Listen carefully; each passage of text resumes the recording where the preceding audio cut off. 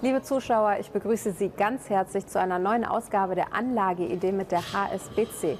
Wir werden heute für Sie das Börsenjahr 2022 Revue passieren lassen und außerdem wagen wir auch einen Ausblick darauf, was uns 2023 an der Börse ja, erwarten könnte. Dazu begrüße ich Matthias Hüppe von der HSBC. Matthias Hüppe, schön, dass Sie da sind. Hallo Frau Arnert, vielen Dank.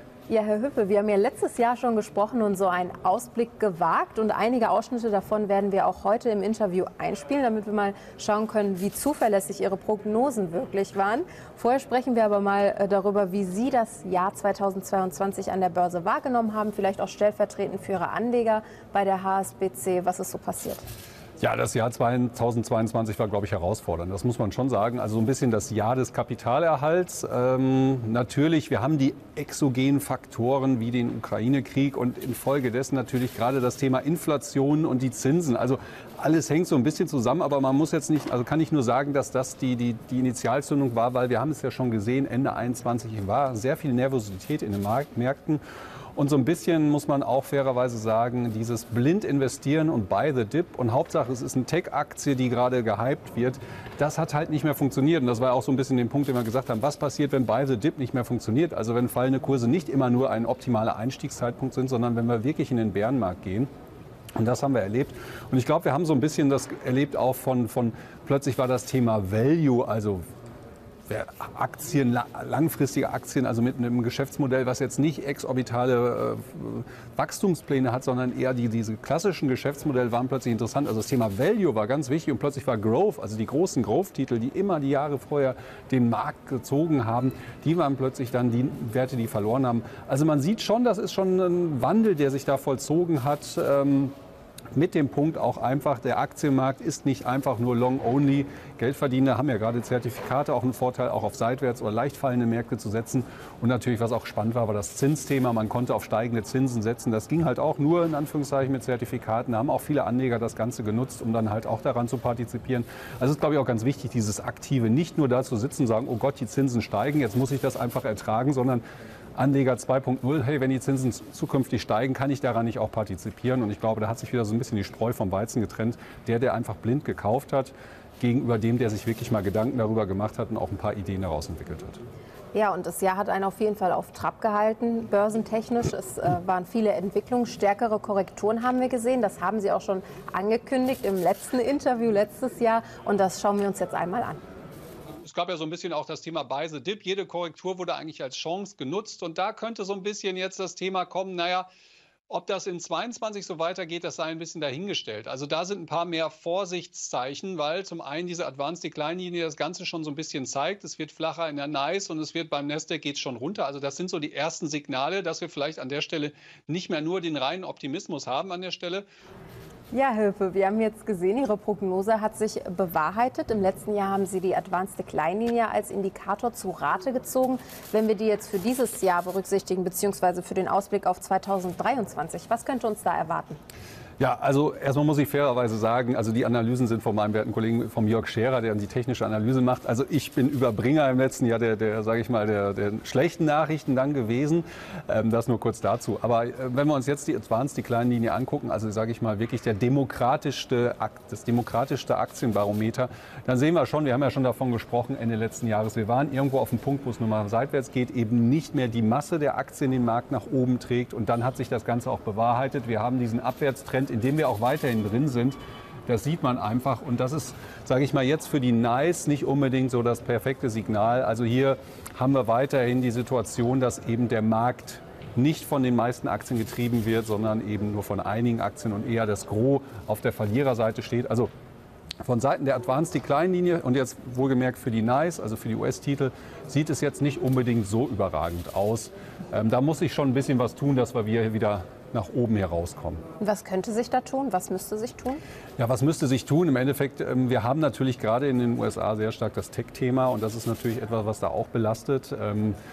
Das wird man auch sehen, wenn man beispielsweise dann den, den S&P oder wenn man den Nasdaq beispielsweise mit dem Dow Jones vergleicht oder ähnliches. Da wird man ganz klar sehen, dass plötzlich der Dow Jones deutlich besser gelaufen ist als äh, der Nasdaq. Jahrelang war der Nasdaq natürlich immer besser, aber man muss sich auch die Frage stellen, jedes Jahr 18 Prozent Rendite, dann verdoppelt sich der Markt alle vier Jahre. Das kann nicht auf Dauer so funktionieren. Ähm, und da sieht man schon an der Stelle, dass so ein bisschen auch dieser Wandel vielleicht A von, von New Economy zu Old Economy und B auch zu realistischen Erwartungen. Man kann nicht einen Verdoppler in allen drei, vier Jahren haben. Ähm, wir hatten super Renditen gesehen seit 2009, aber vielleicht sind wir jetzt auch an dem Punkt, wo wir einfach mal uns mit Anführungszeichen weniger zufrieden geben müssen. Mhm. Auf dieses Thema Growth oder Value gehen wir im Laufe des Gesprächs noch ein, aber ich höre jetzt schon mal heraus, den Anlegern äh, soll auch bewusst sein, dass man die Messlatte nicht mehr allzu hoch setzen sollte auf einen mittelfristigen Zeitraum. Genau, also das ist, ich glaube, nach dem Korrekturjahr sind auch einige da ein bisschen, äh, sage ich mal, ernüchtert und haben jetzt vielleicht auch mal realistischere Erwartungen, weil diese Ten-Bagger und was da immer so kolportiert wurde, diese 1000 Prozent oder ähnliches, das ist mal ein Glücksfall, aber das passiert extrem selten und man bitte nicht erwarten, jede Aktie blind zu kaufen und da macht sie 30, 40, 50, 70 Prozent in einem Jahr. Ähm, das ist einfach zu schön, um wahr zu sein. Ja, und wer nichts erwartet, kann ja auch nicht enttäuscht werden. Realistisch muss man sagen, ja. glaube ich. Wie sieht es denn aus, wenn äh, wir realistisch äh, bleiben, was die Stock 600 angeht, also den europäischen Markt? Können wir da hohe Erwartungen haben für das kommende Jahr? Da können wir auf jeden Fall bessere Erwartungen haben. Also auch hier die Advanced Decline Linie, man sieht, sie ist seitwärts gelaufen, aber wir sind hier schon wieder fast auf neuen Hochs. Also da zeigt sich schon, der Gesamtmarkt zieht das Ganze höher und hier sind wir dann eher doch im Bereich A Europa und B ein bisschen mehr Old Economy. Und das Ganze ist vielleicht so ein bisschen so ein Zeichen, wo man sagen könnte, vielleicht kommt auch mal der Shift hin mehr zu Europa. Bisher ist gerade natürlich die USA sehr, sehr stark gelaufen, Europa immer hinterhergelaufen. Und jetzt gerade in der letzten Zeit merkt man plötzlich auch, dass Europa durchaus Potenzial hat. Und vielleicht wurden wir zu stark abgestraft oder sind vielleicht auch günstiger im Vergleich mit ähnlichen Unternehmen aus den USA. Und deswegen hier so ein Hoffnungsstreifen, gerade was die Advanced Decline Linie angeht, für den Stock 600, also breit gestreut für Europa. Mhm. Eine Sache haben Sie sich letztes Jahr auch noch angeschaut, Herr Hüppe, die US, äh, also die Aktienquote der US-Anleger. Da haben Sie gesagt, vielleicht ist das Kapital auch schon verbraucht, vielleicht ist schon zu viel Cash in Aktien. Jetzt hatten wir dieses Jahr auch die Thematik mit der Inflation und dass die Zinsen angestiegen sind. Das hatten Sie letztes Jahr auch noch angesprochen. Ähm, hören wir mal rein, was Sie da genau gesagt haben es ist so gut gelaufen. Die Anleger haben immer wieder Aktien gekauft und wurden natürlich bestätigt durch die Kursgewinne. Nur irgendwann ist natürlich das Pulver so ein bisschen, sage ich mal, aufgebraucht. Und das ist eine Gefahr, die man haben könnte, wenn zu viel sage ich mal, des Kapitals bereits in Aktienmärkte investiert ist, dann fehlt natürlich Kapital, um nachzukaufen und dann ist der Markt natürlich entsprechend auch anfälliger für Korrekturen, weil im Endeffekt dann kein Cash mehr da ist, um vielleicht, wie wir es vorher gesehen haben, bei The Dip günstig in Anführungszeichen Aktien nachzukaufen. Herr Hüppe, wir haben es eben gehört und gesehen. Sie haben gesagt, die Aktienquote bei den US-Privatanlegern hat letztes Jahr schon Warnsignale gesendet, hat sich in diesem Jahr auch bewahrheitet. Also auch hier ein Lob an die HSBC, das war zutreffend. Ähm, Ob es jetzt von Jörg Scherer, Scherer kommt oder von Ihnen, Sie stellen uns hier ja immer Ihre Prognosen vor. Wie sieht es denn jetzt aus für 2023? Ja, also wir sehen schon, die Aktienquote ist runtergekommen. Also wenn wir uns das mal anschauen, wir sind jetzt nur im Niveau von 63 Prozent. Das ist die Aktienquote in den USA. Aber das ist historisch gesehen, wenn wir uns jetzt wirklich mal echte Krisen ansehen, wie hier die Finanzkrise oder auch das Platzen des neuen Marktes, da waren wir in Quoten von 45 Prozent oder darunter. Das heißt, es ist noch nicht besorgniserregend, was da passiert ist in der Aktienquote. Also das leider so ein bisschen auch der Dämpfer, äh, dem man sagen muss, ja, es kam zu einer Reduzierung der Aktienquote, aber gemessen an dem, das haben wir jetzt hier nicht, aber die Stimmung der das ist ja dieser AAII, also American Association of Individual Investors, die fragt ja auch nach der Stimmung der Investoren. Und die Stimmung der Investoren ist eigentlich sehr negativ. Und trotzdem haben sie eigentlich noch eine hohe Aktienquote. Das heißt, Erwartung und, sage ich mal, Verhalten liegen eigentlich ein bisschen auseinander. Und das zeigt eigentlich noch, dass da ein bisschen Potenzial ist, dass die Aktienquote runtergefahren werden könnte. Und man darf nicht vergessen, bisher, das haben wir jetzt hier nicht drin, das Thema der äh, Rentenquote, also Bondquote in, in festverzinsliche Wertpapiere ist weiterhin sehr gering, obwohl die Zinsen ja steigen. Das heißt natürlich auch, das könnte ein Konkurrent zur Aktie werden, wenn wir einfach auf der Zinsseite attraktivere Verzinsung sehen. Im Gegensatz zum Aktienmarkt, der vielleicht jetzt durch die Korrektur einfach auch nicht mehr so attraktiv ist für viele Anleger. Diesen Shift könnten wir auch noch sehen. Also alles in allem kann man auch hier sagen, ähm, ja, wir haben einen deutlichen Rückgang der Quote gehabt. Wir waren halt einfach auch zu stark investiert. Wir haben ja auch das Argument gehabt, dann gibt es irgendwann kein Geld mehr zum Reinvestieren, einfach weil man schon komplett investiert ist. Aber alles in allem muss man sagen, sind wir da immer noch von den Tiefs aus vergangenen Krisen weit entfernt. Ähm, von daher muss man so sagen, also da ist auch noch ein bisschen Luft jetzt gerade für den amerikanischen Markt, ähm, was sozusagen auch noch eine Reduzierung der Aktienquote geht und natürlich auch das Thema der Konkurrenz einfach durch die Zinsseite. Also Sie gehen davon aus, dass man 2023 große Alternativen hat zum Aktien Aktienmarkt und auch weniger in Aktien investieren könnte, was dann schlussfolgernd nicht so gut ist für die Börse? Sagen wir mal so, es ist noch Spielraum da. Also das Bild ist nicht so schlecht, wie es vor einem Jahr war, wo wir einfach argumentiert haben, es ist einfach schon zu viel investiert. Aber wenn wir das vergleichen mit den Krisensituationen, also wenn man die Stimmung der Anleger vergleicht mit dem Verhalten, dann ist die Stimmung eigentlich, sie sind pessimistisch für die Aktienmärkte ausgerichtet, also deutlich pessimistischer als vorher, haben aber trotzdem immer noch eine Aktienquote, die eigentlich auf einem Niveau liegt, was mehr oder weniger normal ist. Also das heißt, diese Stimmung hat sich noch nicht in den Portfolien wiedergefunden. Und das ist so ein Indikator, wo man sagen kann, okay, da ist eigentlich noch Luft nach unten. Leider dass auch hier an der Stelle vielleicht noch mehr Verkäufe stattfinden. Und was auch ganz interessant ist, das haben wir ja auch das eine oder andere Mal gemacht, sieht man jetzt hier nicht, wenn man beides mal, also wo die Stimmung am schlechtesten war, war im Juli und im September, war genau zu diesen Zeitpunkten, wo der Markt gedreht hat. Also auch hier muss man wieder sagen, ein sehr guter Sentimentindikator. Wenn alle Pessimisten sind, das haben wir im September erlebt, da waren die US-Anleger alle pessimistisch und schwupps, kurz danach haben wir eine super Rallye Oktober äh, bis Anfang November gesehen, äh, die dann viele vielleicht nicht mitgemacht haben, weil sie sich einfach von ihren Aktien getrennt haben. Mhm. Und für die Anleger, die sich jetzt nicht von ihren Aktien trennen wollen, weiter investieren wollen, aber nicht genau wissen, Growth oder Value, was sagt die Charttechnik da? Ja, Growth oder Value muss man sagen. Also ist vielleicht ein bisschen schwer, diesen Chart zu interpretieren. Also wir haben hier einmal Growth, wir haben in MSCI World Growth, wir nehmen die rote Linie und dann haben wir einmal den Value, also die, die Value-Aktien in der schwarzen Linie. Das sieht so aus, als wenn sie im Gleichklang sind. Wir sind aber von ganz verschiedenen Niveaus gestartet. Deswegen muss man auch sagen, und hier ist dieses Ratio dazu, also geht die Linie nach unten, ist Growth besser als Value, würde die Linie nach oben gehen, wäre Value besser als Growth gelaufen. Und die Linie kannte eigentlich seit 2000 fünf nur eine Richtung und das ging nach unten. Das heißt, es war eigentlich immer richtig, in Growth-Aktien zu investieren. Sogar hier sind wir sogar rausgegangen, da war Growth deutlich stärker. Wir sind wieder in diesen Trendkanal reingekommen und jetzt könnte langsam der Punkt sein, wo Value wirklich wieder Aufholpotenzial hat. Also wo das Thema Growth wirklich einen Schritt zurückgeht. Wir haben es gesehen, die großen Titel, US-Titel, von denen wir eigentlich nur kannten, dass sie jedes Jahr konstant ihre 10, 15, 20 Prozent machen, von einer Billion auf zwei Billionen gestiegen sind, die plötzlich stärkere Korrekturen haben. Wir haben es ja auch in Amazon erlebt, wo 250 Milliarden sich mal in Luft auflösen, Aktienkursbewertung. Das kannten wir in dieser Form noch nicht. Also man merkt auch, da ist mehr Nervosität, gerade bei diesen großkapitalisierten Titeln und die natürlich eine immense Wachstumsstory haben und langsam unter den Druck kommen, diese Wachstumsstory dauerhaft fortzuführen. Wir, wir sprechen von dem Thema, diese Gewöhnung daran, 20 Prozent jedes Jahr Rendite zu machen. Das ist nicht realistisch. Und deswegen ist natürlich hier ein besonderer Druck. Und klar, natürlich auch bei den Growth-Aktien haben wir das Thema der Zinsen. Da ist es natürlich je nachdem, bei den ganz Großen ist es natürlich nicht so, dass die Verschuldungsquote hoch ist. Aber ich sage mal, der zweiten Reihe, die ja extrem hohe Verluste erlitten haben, die sehr stark Fremdkapital finanziert sind, die natürlich bei einer Zinsänderung deutliche Probleme kriegen. Da haben wir es ja schon gesehen. Und es ist ja nicht das Bild so, dass die Zinsen sich von heute auf morgen in eine andere Richtung entwickeln. Auch wenn sie dann vielleicht irgendwann mal flat bleiben und nicht weiter steigen, ist es für diese Unternehmen natürlich deutlich schwerer als aus einer Phase, wo sie kommen, wo eigentlich Nullzinsen mehr oder weniger der Standard war.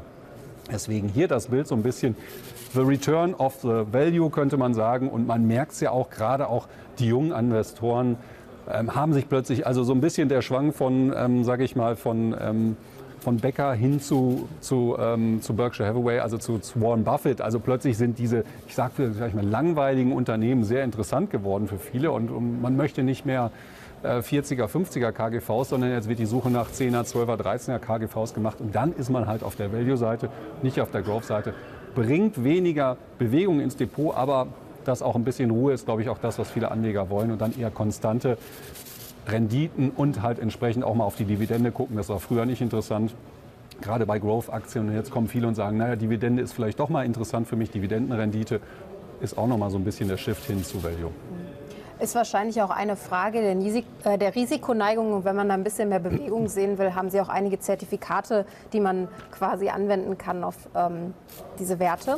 Genau. Man muss vielleicht nur sagen, also wirklich gerade viele, die neu in die Börse gekommen sind, haben sich sehr, sehr stark dann entsprechend nur auf die Tech-Titel konzentriert. Durch den Boom, der natürlich dann in der Post-Corona oder einer Phase entstanden ist, ähm, oder in Corona eigentlich sind natürlich gerade die Value, äh, die Growth-Titel durch die Decke gegangen und in dieser Boomphase haben viele Depots sich extrem stark auf diese Werte konzentriert und haben natürlich jetzt auch deutlich höhere Verluste. Also wenn wir uns das angucken, wir sind im, im Dow Jones sind wir nur 8% vom All-Time-High entfernt.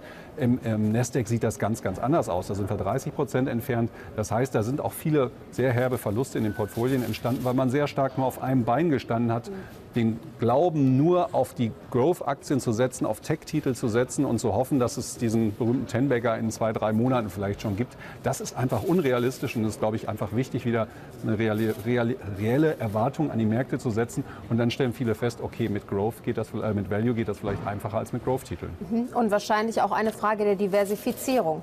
Natürlich. Also das ist schon ein Punkt, wenn man natürlich ähm, nur, da muss man auch gucken, auch viele, die ETF-Sparpläne oder ähnliches machen, sollten mal reingucken. Da ist oft eine große US-Quote drin und oft ist dann auch eine groß, große Quote der großen Tech-Titel drin, aufgrund ihrer Marktkapitalisierung schon. Und dann kann es sein, wenn man mal alles analysiert und seine Sparpläne anguckt, dass es sein kann, dass man mit 50 Prozent mehr oder weniger fast im Nasdaq investiert ist, auch wenn man breiter gestreute Indizes gewählt hat, weil die halt auch der Kapitalisierung nach in diese Indizes gehen. Und vielleicht sollte man mal über eine Umallokierung nachdenken und auch vielleicht mal tiefer in den ETF reinschauen und nicht nur sich davon blenden lassen, dass er vielleicht 30 Prozent das Jahr oder die zwei Jahre davor gemacht hat. Das ist halt kein Indikator für die Zukunft, das merkt man dann sehr deutlich und dann sollte man auch ein bisschen in seinem Portfolio gucken, ob man nicht vielleicht zu sehr wirklich nur auf dieser Growth-Schiene, auf die Tech-Titel gesetzt hat. Und da merkt man schon, da kommt langsam der Shift zu Value. Herr Hüpper, ein letztes Thema möchte ich jetzt in dieser Sendung noch mit Ihnen besprechen. Wir haben es auch schon in diversen Anlageideen besprochen. Das Thema Saisonalität, vor allem ja den US-Wahlzyklus. 2022 waren die Midterms ein Zwischenwahljahr und historisch gesehen, das haben wir schon einige Male besprochen, ist das auch ein eher schlechtes Jahr für die Börse. Wenn wir jetzt in die Vergangenheit schauen, ist das Vorwahljahr in der Regel ein gutes Jahr beißt sich vielleicht ein bisschen mit dem, was Sie in den letzten Minuten schon so gesagt haben. Wie geht es jetzt weiter ganz konkret? Ja, wir wollen jetzt hier auch mal wieder ein bisschen, also ne, jetzt ein bisschen viel Schwarzmalerei, wobei wir ja schon so ein bisschen das Bild Richtung Europa, Richtung, also es gibt da schon Chancen, aber ähm, so ist es nicht. Aber jetzt gucken wir noch mal in die USA und jetzt haben wir uns den S&P angeschaut. Ähm, seit 1945, ähm, was ist denn, wenn ich in den Midterms äh, ein, ähm, so eingestiegen wäre, also im November muss man jetzt sagen, ist natürlich so ein bisschen rückbetrachtet, ist der November schon vorbei, aber ähm, wenn wir die Midterms haben und dann nach der Wahl wieder verkauft haben. Und dann sehen wir, dass wir bis auf einmal, also so gesehen in 95 Prozent der Fälle war dieser Zeitraum positiv für Aktien und äh, im Schnitt sogar deutlich positiv mit 24 Prozent ähm, haben die Märkte in dieser Zeit gemacht. Also mit der einen Ausnahme, das war aber die Finanzkrise, die natürlich da reinfiel 2006 bis 2008. Ansonsten immer positiv. Das könnte ein ganz gutes Bild nochmal sein, gerade wenn man doch mal in den US-Titel nochmal reinguckt, US-Markt, im breit gestreuten US-Markt mit dem S&P sich anschaut. Begründung ist natürlich auch immer so ein bisschen klar, ähm, wenn die US-Wahl ansteht, dann ist es natürlich auch häufig so ein Thema, dass natürlich der Präsident, äh, amtierende Präsident durch entsprechende Wahlgeschenke versucht, auch die Wirtschaft anzutreiben, weil das natürlich auch für die Stimmung der Wähler entscheidend ist. Und durch, dieses, durch diese Stimuli, Stimuli, die dann kommen, ist es häufig so, dass wir dann halt auch positive Aktienentwicklungen gesehen haben. Und das ist so ein bisschen der Hintergrund, warum gerade diese Saisonalität ganz interessant ist. Deswegen hier wieder das Positive mit dem Blick in zwei Jahre ist es vielleicht kein schlechter Zeitpunkt, jetzt einzusteigen. Matthias Hüppe, vielen Dank für alle Zuschauer, die es interessiert. Diese Jahresprognose von Ihnen von der HSBC kann man auch noch auf Ihrer Website im Detail nachlesen. Ich danke Ihnen, dass Sie uns das aber noch mal in Videoform erklärt haben und sage bis zum nächsten Mal. Ja, vielen Dank, Frau Anatsch. Und dann freue ich mich schon darauf, wenn wir nächstes Jahr hier wieder stehen und gucken, wie die Prognosen eingetroffen sind. Ja, ich bin auch ganz gespannt, was das Jahr 2023 für die Börse bringt. Wir halten Sie auf jeden Fall auf dem Laufenden, liebe Zuschauer. Vielen Dank für Ihr Interesse und bis bald.